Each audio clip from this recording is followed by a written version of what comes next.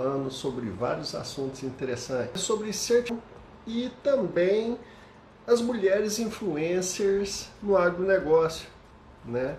Hoje nós vamos estar recebendo aqui a Adriane Stent, que vai estar.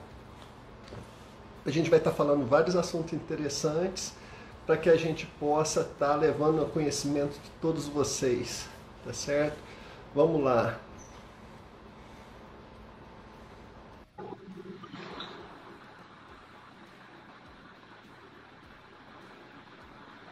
Ei, Adriana, tudo bem? Olá! Prazer estar com você. Muito tudo obrigado bem, por ter aceitado o nosso convite para estar batendo um papo aí sobre um assunto que é muito interessante. Essa mulherada está dominando o mundo, né? Então, assim, bem-vinda. Espero que você se sinta tranquila e que a gente possa desenvolver vários assuntos aí para o nosso público. Obrigada, Márcia. Eu que agradeço o convite para estar tá batendo um papo aqui hoje, compartilhando um pouco da minha história, do meu conhecimento e poder agregar com as pessoas que estão aí nos acompanhando. Cumprimentar todo mundo também que está aí para essa live. Desejar uma boa noite a todos. Então, para a gente começar, fala um pouquinho. Quem é Adriane Stenist?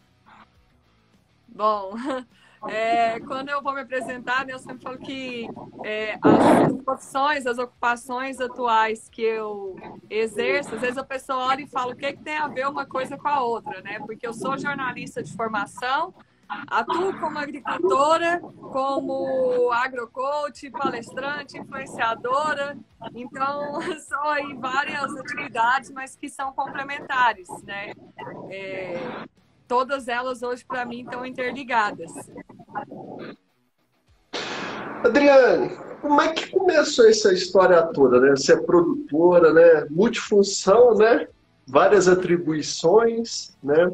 Como que começou a tua carreira? Como é que é esse negócio aí? E como é ser mulher especificamente nesse mundo que é o agronegócio que é tão machista, né?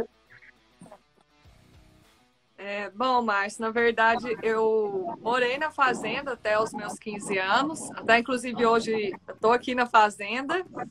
É, e aí, né, meus pais, avós foram agricultores, então, assim, sou goiana, mas sou filha de gaúchos. Eles vieram do Rio Grande do Sul em 79 e eles sempre nos incentivaram a buscar o conhecimento, a estudar, né? Um conhecimento que eles não tiveram oportunidade de ter. É, e aí, assim, eu fiz. Eu escolhi fazer faculdade de jornalismo, não pensava em voltar para o agronegócio, porque naquela época era algo muito difícil, né? Hoje a gente vê que o agronegócio é o propulsor da economia, é um mercado de muitas oportunidades. Porém, naquela época não era assim. Então, eles me incentivaram a seguir, tanto eu quanto a minha irmã, a seguir aí uma carreira que a gente gostasse. Tanto que a minha irmã formou em Direito e eu fui fazer jornalismo.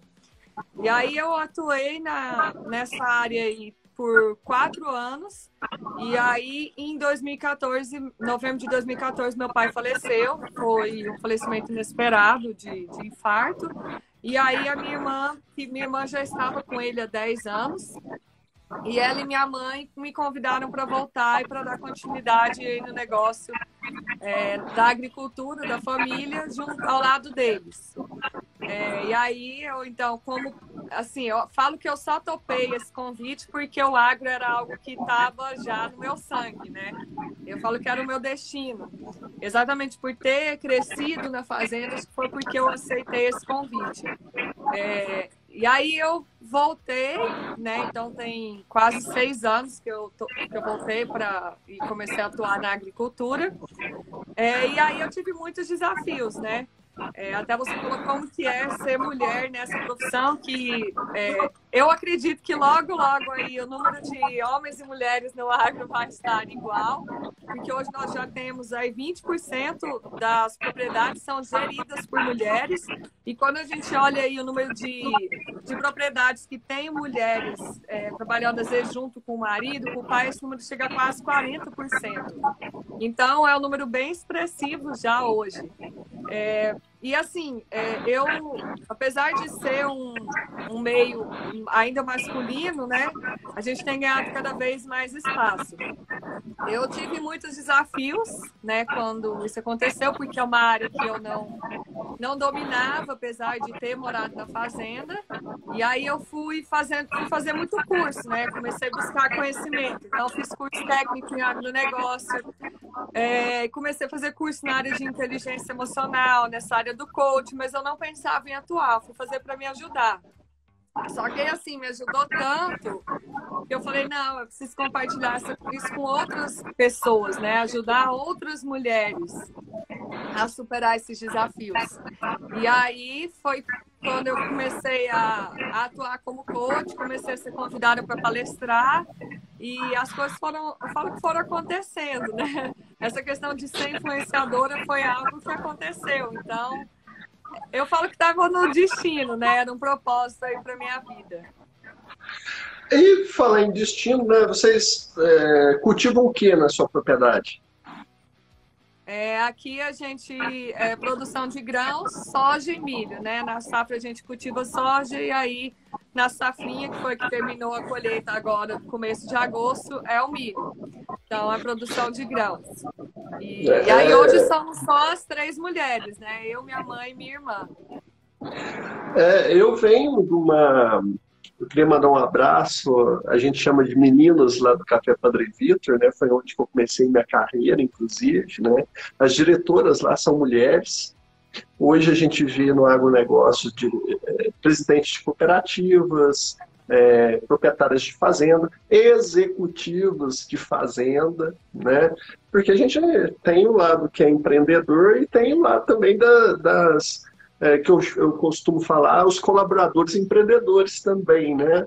que são aqueles que estão do nosso lado dando, fazendo a coisa acontecer, porque a gente não consegue estar em todo lugar ao mesmo tempo, né? Então eu queria mandar um abraço para o pessoal da SAAG, também gerida né, por mulheres, a Ivanete lá da, da Bar Norte, inclusive estou no norte de Minas, as frutas, é, a, a, presidente da Bar Norte é mulher também, um abraço a, a ela, né? Então, assim, é uma grande festa, né? Hoje a gente tem um grande número de clientes e, por coincidência, também eu tenho formação em coach e psicopedagogia. Então, assim, é uma coisa boa, né? Porque o que, que a gente percebe? Dentro das propriedades geridas por mulher, o RH é muito forte, né? É, há um cuidado especial com o ser humano dentro, com a qualificação, e é diferente na hora que a gente chega numa propriedade, os detalhes, né? Então, a Cristiane, lá de Guapé, né? um abraço, uma grande produtora, Dona Flávia Lancha, lá de Franca, né? que tem todo um cuidado especial com os colaboradores. Você tem essa visão também? É, eu, eu acredito que a mulher ela é mais sensível, né? Nós temos uma sensibilidade maior. É, eu falo que quando a gente se compara, né, homem e mulher, intelectualmente, a, essa capacidade ela é igual, independente de gênero. Porém, existem certas características que são é, específicas né, e exclusivas de mulheres e outras que são dos homens, né, que não tem como a gente comparar. Então, eu acredito que a mulher ela tem uma visão mais sensível, é, principalmente como você falou, né, essa questão de pessoas, um olhar mais atento a alguns detalhes. E eu acho que isso é bacana, né, quando a gente consegue conectar né, esses dois mundos, homens e mulheres, eu acho que aí a gente tem um resultado perfeito. Eu fico até imaginando, porque a gente sabe assim, né? Eu sou prestador de serviço, eu sou consultor, a gente atua em palestras, em associações e tudo mais. E a gente percebe também que os detalhes, realmente, isso que você falou, é muito importante, né? A mulher é muito detalhista. E além disso, não é só isso, né? Ela consegue fazer outras coisas que, igual a, a, a Murta está falando aí, né? É, tem uma percepção, parece com um sétimo sentido, né? Opa, tem uma coisa errada acontecendo, né? Então parece que fica aquilo lá muito latente. Né? Então, é, é, eu vejo também que dentro dessa gestão, dentro dessa programação né, que, que a mulher tem a polivalência, né? Que ela consegue fazer várias coisas simultaneamente, diferentemente da gente que é homem, que fica focado numa coisa só. Aí, às vezes, eu estou atendendo uma produtora, uma empreendedora, eu falo assim, ó, segura as pontas aí, porque eu penso uma de vez só. Agora vocês pensam um monte de coisa simultaneamente, eu saio na desvantagem, né? Mas, enfim, é, do seu ponto de vista, quais são os principais desafios hoje encontrados para vocês, que são mulheres, é, no ambiente do agronegócio? É, então, é engraçado assim que é, quando me fazem essa pergunta, eu sempre falo que é, a minha percepção, pelo que eu vivenciei e pela a minha vivência com as mulheres, eu tenho um trabalho muito forte com essas mulheres, é, é que o maior, o fator maior limitante delas, né, às vezes não é nem o externo. Ah, a questão do preconceito tal, existe, existe, sim, é algo que a gente precisa superar a questão da falta de conhecimento técnico é, também é um desafio, mas eu acho que está aqui, ó. Dentro da mente, né? Às vezes é uma questão limitada de, de capacidade. Às vezes uma que se acha capaz. É, às vezes ela não se acha merecedora. O fator maior limitante é o que ela coloca nela mesma, né? De, de não se achar realmente ah, será que eu vou conseguir? Será que eu estou preparada? Será que isso é para mim? Então, na minha percepção, é, essa questão é o que mais limita hoje, é uma, um dos maiores desafios. Até né, algumas vezes algumas pessoas falam assim, ah, eu acho que isso é uma coisa que já está superada, né? As mulheres já estão em outra fase. Mas não, eu acho que ainda existem muitas coisas é, a serem trabalhadas aí no interior da nossa mente. É uma, eu vou pegar um gancho nisso tudo que você me falou aqui, que me despertou um negócio muito interessante. Assim. Nós vamos estar lançando até o final do ano o nosso livro, né? Sintonize seu negócio com sucesso. E, por incrível que pareça, você não acredita. Eu dediquei um capítulo dele em crenças limitantes. Tá certo? E essas crenças limitantes, o que impactam na vida da gente, né? É, parece brincadeira, mas é, fazendo uma analogia, por exemplo, um elefante. Né? Se ele, quando pequeno, é amarrado num tronco e ele não consegue derrubar esse tronco, depois de grande que ele derrubaria isso com facilidade, ele não tenta novamente, não é verdade? Então, assim, a mesma forma nós, como seres humanos, se a gente coloca é, os nossos filhos em um ambiente que seja mais propício para o empreendedorismo, para buscar resultados, ele vai sair na frente daquele que não está com esse meio propício, não é verdade? Então eu concordo muito com vocês, é um grande desafio e nós, como seres humanos, é a nossa luta interior com as nossas crenças, que a gente chama de paradigmas, né? Esses paradigmas que nos impedem de ver oportunidades, ou até mesmo falar assim, olha, eu sou capaz. Só que tem um problema, né? Na hora que eu mudo esse paradigma, a gente não muda porque a gente tem medo do novo, né? Será que eu vou dar conta? E na hora que eu mudo, começa do zero, né? Então aquela experiência passada nossa já não serve nada mais pra gente. Então por isso que as pessoas tendem a ficar no mesmo lugar. E isso acontece realmente, né? E não é questão de ser gênero, né? É uma questão de, da pessoa poder. E aí que entra o coach, né? Que possa dar, é, ajudá-la a romper, né? Opa, vamos lá, nós vamos conseguir, você está no caminho certo, né?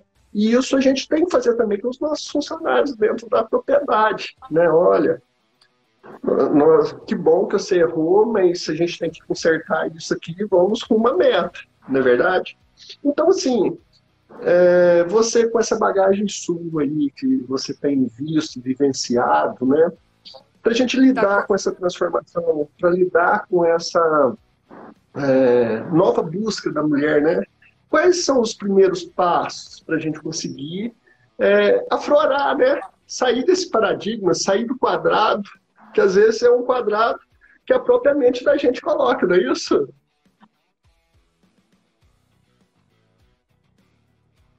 É, é, até inclusive eu tenho um, um, trabalho muito legal que, que chama a Jornada Florescer. É, quero aproveitar e mandar um beijo aqui, ó, minha irmã está aqui na live, mãe, marido, dar um oi para todo mundo que está acompanhando. E aí, galera, um é, abraço. eu tenho um trabalho muito legal que é a Jornada Florescer. É, e, e, é exatamente, é, eu trabalho exatamente isso, né? O que, que é o florescer? É você conseguir é, trabalhar essa questão interior, né? Despertar esse potencial. É, e o primeiro passo é você mudar a sua comunicação, né? Eu falo que tudo aquilo que eu comunico gera um pensamento, que gera um sentimento, que vai formar as minhas crenças. Então, ah, eu poderia mudar o meu sentimento, mas mudar o sentimento é muito difícil, porque o meu sentimento está conectado com o que eu penso. Então, ah, eu vou mudar meu pensamento, mas eu tenho milhares de pensamentos durante o dia. Se você ficar falando assim, não vou pensar nisso, não vou pensar pensar nisso. Quando só de você falar eu não vou pensar, você já pensa. Então, mas o nosso pensamento está conectado à nossa comunicação verbal e não verbal. Então, tanto aquela que a gente emite quanto a que a gente recebe. Então, mudar é, essa comunicação. É, o que, que você comunica a respeito de você, qual tipo de comunicação que você recebe, o tipo de música que você ouve. Então, a, a forma que eu trabalho muito isso, né, é gerenciando essa comunicação. E até aqui teve um comentário aqui em cima de, de alguém que falou aqui que falando que isso veio uma questão que ela sofre aqui que vem da, da mãe e do irmão, né? E as nossas crenças, elas são formadas lá na infância, né? Daquilo que a gente viu, ouviu e sentiu repetidamente ou ao longo do tempo, né? Sobre um forte impacto emocional. Então, é, até mesmo coisas... religioso, religioso, até mesmo da sociedade que você está envolvido, isso tudo influencia nessa casca que vai criando da gente eu gostei muito desse nome, florescer, né? É botar para fora tudo aquilo que de sentimento bom que tem, né? Exatamente. E, então, assim, é, são várias ferramentas que, que né, que a gente tem para reprogramar. A metodologia que eu trabalho é, é o coaching integral sistêmico e nós somos especialistas em reprogramar crenças. Tanto que uma das partes que eu sou fascinada é nessa parte de reprogramação mental. Então, a gente tem hoje muitas ferramentas mesmo, muitas técnicas para fazer essa reprogramação e, consequentemente, quando você muda suas crenças, você muda os seus comportamentos e muda seus resultados, né? Por isso que eu falo que toda crença é autorrealizável. Então, se você tem uma crença limitada, você reprograma ela e muda ela, você vai passar a mudar seus resultados. Eu acho muito interessante. Adoro física quântica, hein? Você tem que me segurar, porque na hora que começa a falar em, em atração, em universo, eu sou aficionado e muitas vezes a gente acha bobagem tá certo? Então, é uma coisa séria, né? E para que a gente possa falar para os nossos ouvintes, né? Essas pessoas é, que estão nos assistindo. Então, nós estamos falando hoje sobre as mulheres do agronegócio, né? Você que está chegando agora, os principais desafios, e nós estamos justamente no modo quais são os primeiros passos, os primeiros desafios que a mulher enfrenta, né? Então, para ser didático, né? Primeira coisa, eu acho assim, vamos trocar uma ideia, né? É, hoje ela tem várias atividades que ela acumula a maternidade, ela acumula o empreendedorismo às vezes, forçada, no seu caso lá, infelizmente, meus sentimentos com relação ao seu pai, e que tem que abrir, é, lutar para manter a família, filho na escola, então tem vários turnos, né? Então eu vejo assim que a primeira coisa que, que, que ela teria que fazer, né, primeiro, quais são os objetivos, né, a gente é um ser humano, tem várias é, camadas dentro da gente, né, então eu tenho um momento religioso, a fé é muito importante, tá certo? eu tenho social, que eu não posso ficar em casa simplesmente no trabalho, etc e tal, eu tenho empreendedorismo, tá certo? Eu tenho o lado de mãe, o pai, né? E a gente tem que limitar muito bem isso, Porque senão daqui a pouco um só lado abocanha tudo, né? E isso aí acaba a pessoa, como ser humano, vivendo na sua integridade, não é verdade? Então, e aí, assim, a gente também poder sonhar, né? E tangibilizar esse sonho, olha, eu estou nessa situação hoje, eu não estou satisfeito com o meu casamento, eu me sinto, de certa forma, prejudicada ou até mesmo agredido, na verdade. A gente tem que mudar essa situação, né? E para mudar essa situação, eu tenho que começar a desejar, né? Olha, eu quero sair, eu quero buscar uma ajuda, né? Eu tenho que agora arrumar um tempinho para mim, né?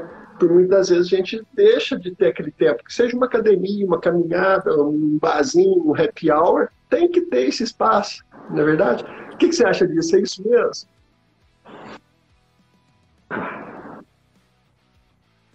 É isso mesmo. É, quando eu falo do, do coaching integral sistêmico, é, o que, que é o sistêmico? É exatamente isso, a gente é, equilibrar a vida pessoal e profissional. E como você falou, a mulher ela é multitarefas.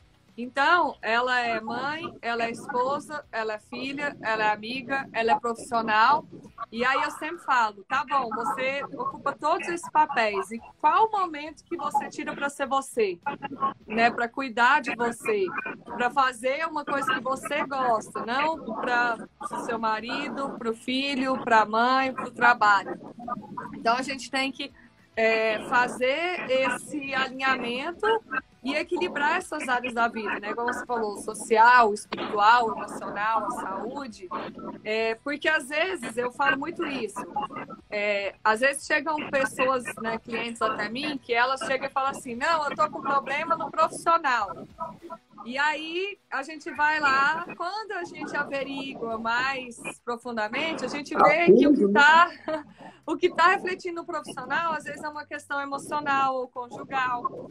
E isso pode acabar. Ou então, por exemplo, assim, então não adianta a gente focar lá. Às vezes a origem desse resultado negativo é em outro lugar. E outra coisa que às vezes acontece, não, ah, eu quero cuidar só do, de uma área porque as outras estão boas, mas uma área às vezes acaba interferindo na outra. Se você não tiver em harmonia, é, ah, eu vou focar só no profissional, mas se o pessoal não está bem, esse pessoal que não está bem vai acabar refletindo naquela área da sua vida que está bem, por exemplo, profissional. Então a gente tem que ter esse equilíbrio entre, entre essas áreas, né? Ter esse cuidado para não esquecer e não acabar uma área refletindo negativamente na outra. Isso que a gente dá o um nome de equilíbrio emocional, na é verdade. Então, assim, se a gente não tiver a inteligência, né, emocional nesse momento para que a gente possa estar bem como um todo, a gente acaba atraindo como se fosse uma antena tudo de ruim, né? Eu até brinco. Gente, alguém já perdeu noite de sono porque está muito feliz? É muito difícil a gente falar, é, em 20 ou 30 que eu, que eu pergunto, às vezes eu recebo, ah, eu já perdi, eu ganhei um presente e tal, fiquei ansioso, mas os 29, não, nunca.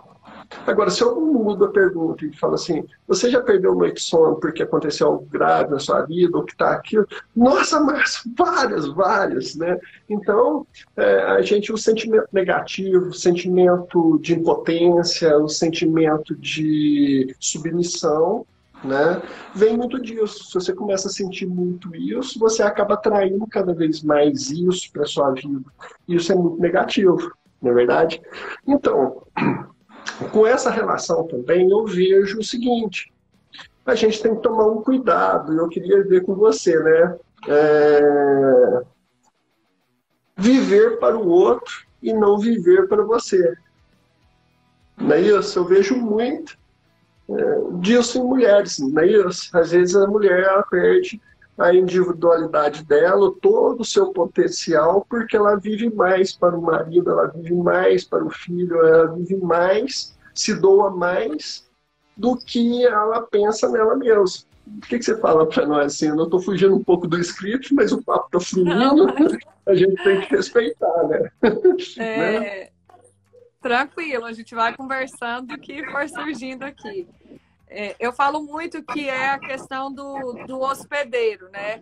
A gente tem um tipo de pessoas que é parasita. O que, é a pessoa parasita? Aquela que só pensa em si mesma e só pensa no seu crescimento. Então, ela não, não se preocupa com o próximo, com o outro. Aí nós temos também, e isso não é bom, né? Aí nós temos também o contrário, que é a pessoa que só pensa no outro e é aquela pessoa que fala que ela tira da própria carne para dar para o outro, que é o